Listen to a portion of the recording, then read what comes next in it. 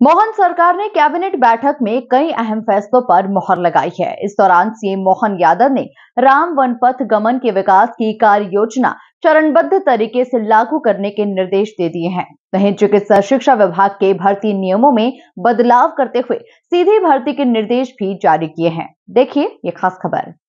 मुख्यमंत्री मोहन यादव की अध्यक्षता में गुरुवार को कैबिनेट बैठक संपन्न हुई। इस दौरान मोहन सरकार ने कई अहम प्रस्तावों पर बड़े फैसले लिए हैं।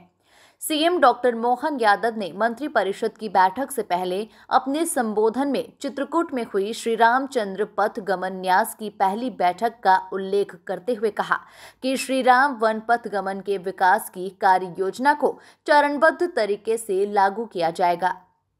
प्रथम चरण में पथ के अयोध्या से चित्रकूट तक के विकास के लिए मध्य प्रदेश और उत्तर प्रदेश सरकारों के द्वारा अपने अपने क्षेत्र में गतिविधियाँ संचालित की जाएगी। पाँच विशेषज्ञों की समिति बनाकर कार्य प्रारंभ किया जाएगा।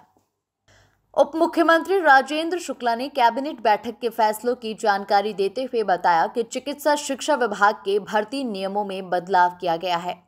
विभाग में पदोन्नति से भरे जाने वाले पदों को अब सीधी भर्ती से भरा जा सकेगा।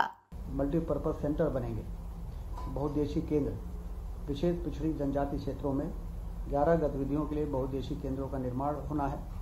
इन केंद्रों की कुल लागत पचहत्तर करोड़ रुपए प्रति केंद्र है। इससे हम अंदाज लगा सकते हैं कि कितना बड़ा इंफ्रास्ट्रक्चर उन क्षेत्रों में बनाए जाने की योजना है। शत प्रतिशत वित्तीय सहायता भारत सरकार देगी। इन केंद्रों को बनाने में जो भी खर्च आएगा। प्रत्येक केंद्र निर्माण के 2200 वर्ग फीट भूमि की आवश्यकता होगी। इसमें से 1605 वर्ग फीट भूमि पर भवन का निर्माण होगा और भूमि आवंटन का कार्य जिला कलेक्टर करेंगे। प्रदेश में जिन गाँवों में छोटी बसाहटों की आबादी 100 है, वहाँ भी अब पीएम सड़क योजना के अंतर्गत सड़कों का निर्माण किया जाएगा। मोहन यादव कैबिनेट ने इसकी मंजूरी दे दी है। इसी के साथ ही ऐसी बसाहटों में जिन आदिवासियों के पास भवन नहीं है, उन्हें प्रधानमंत्री जनमन योजना के अंतर्गत मकान बनाने के लिए राशि दी जाएगी। मध्य प्रदेश में दो सौ चौरासी केंद्र, केंद्रों के निर्माण का प्रस्ताव भारत सरकार को भेजा गया है। इसमें से 125 केंद्रों की स्वीकृति भारत सरकार द्वारा मिल गई है और इस पे इस मंत्रिमंडल की स्वीकृति के बाद इस पर तेज़ी से काम शुरू होना है। विशेष पिछड़ी जनजाति बाहुल क्षेत्रों में सड़क निर्माण के लिए भी प्रस्ताव लाया गया।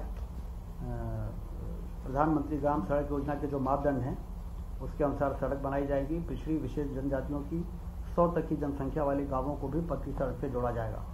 अभी तक प्रधानमंत्री सड़क योजना ढाई सौ तक की जनसंख्या को जोड़ने का रहा है। लेकिन इस योजना के आ जाने से, प्रधानमंत्री जनमन से ये फ़ायदा है कि तेईस जिलों के ऐसे पिछड़ी जनजाति क्षेत्रों में, अब सौ तक की भी यदि जनसंख्या है तो प्रधानमंत्री सड़क से वहाँ पर सड़क बनाई जाएँगे। कुल नौ सौ इक्यासी संपर्क विहीन बसाटों में 2403 किलोमीटर लंबाई के 978 मार्ग एवं 50 पुल बनाए जाने का लक्ष्य है। अपने आप में बहुत बड़ा काम है। आगर मालवा में विधि महाविद्यालय खुलने पर मोहन सरकार ने मंजूरी दे दी है। यहाँ तीस नए पदों की स्वीकृति दी गई है। इसके लिए अलग से भवन निर्माण किया जाएगा। दो दशमलव एक नौ करोड़ का खर्च कॉलेज भवन के निर्माण में आएगा। इसके अलावा आगर मालवा में एक नया विधि महाविद्यालय खोलने की स्वीकृति प्रारंभ करने का निर्णय लिया है। मंत्रिमंडल ने 30 नए पदों के सृजन की स्वीकृति दी है।